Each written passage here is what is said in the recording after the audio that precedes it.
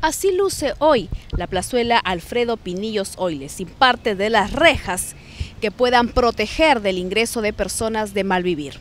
La plazuela Pinillos, conocida así por muchos trujillanos, cuyo nombre se le atribuye en honor al exalcalde Alfredo Pinillos Oile, quien cuando fue autoridad, según la historia, no percibía sueldo y mucho menos dietas.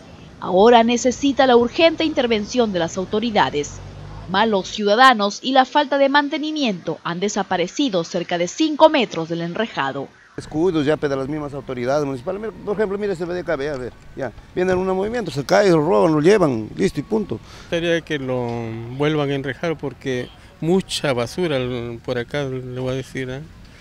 Por supuesto, nosotros somos parte de la comunidad, no solo las autoridades, y nosotros tenemos que preservar lo que se efectúe en favor de, de, nuestra, eh, ¿qué le digo? Este, de nuestra ciudad, ¿no? Esta área verde se ha convertido en el lugar perfecto para quienes desean descansar un ratito bajo la sombra. Buenos días, disfrutando un poquito de la sombra. Sí, por acá estamos con tremendo calor, estamos eso, este, refrescándonos acá. ¿No le interesa que esté cochino? Sí, sí, sí.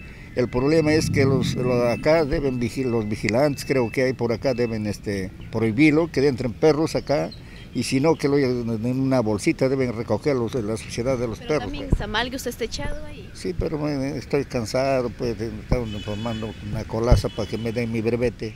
El coordinador pro la remodelación de la plazuela Pinillo, César Bazán, denunció que en este lugar pasa de todo. Exhortó al alcalde tener en cuenta el expediente técnico que durante la gestión anterior no se llegó a ejecutar. Usted ve, entran perros, de todas partes es baño de perros.